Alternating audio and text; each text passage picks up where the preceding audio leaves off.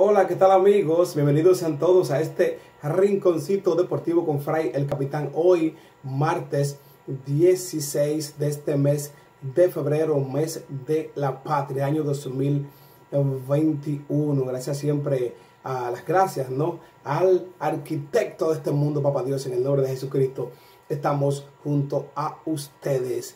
Hoy fechas importantes, el aniversario número 48 de la muerte de Francisco Alberto Camaño Deñó, quien fue presidente de la República Dominicana y también propulsor de lo que era el regreso al poder del profesor Juan Bosch, que fue derrocado en el año 1963 y Camaño pues se apostaron en Cuba y eh, intentaron lo que fue eh, la vuelta al poder del profesor Juan Bosch, que no fue posible, ya conocemos esa parte de la historia. Hoy se celebran 48 años de su fallecimiento.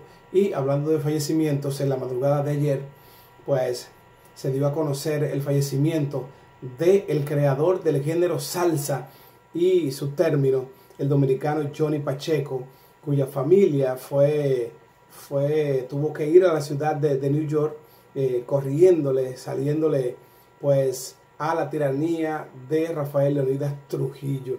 Así que Pacheco se encontraba ocioso, si de una manera se puede decir, eh, y fue a la ciudad de New York, allí en las calles, eh, participó en los juntes que se realizaban con, los, demás, los demás muchachos de la época, los demás jóvenes, y eh, Pacheco pues inventó lo que fue la charanga y le puso la pachanga, algo que venía como, como de su nombre, ¿no?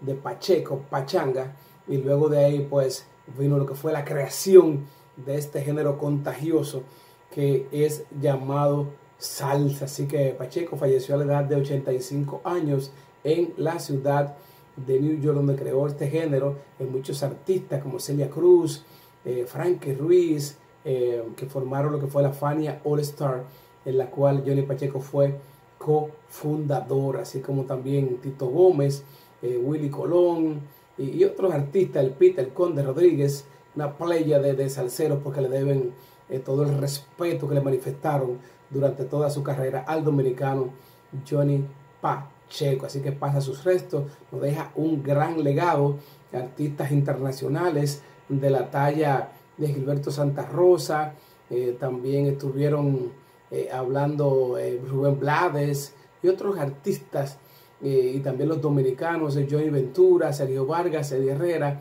entre otros, manifestaron pues el, pésame a, los familiares y a todo, a todo el género musical, porque el legado de Gianni Pacheco trascendió más allá de lo que fue el género salsa.